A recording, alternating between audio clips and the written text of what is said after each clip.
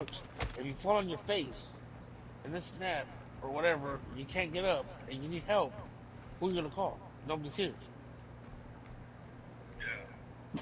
Well, the whole thing with your prescription, your medication, and all that. Taking 17 different kinds of pills. Like, we need to know what order, what she needs to take, shit like that. She's on 17 different medications.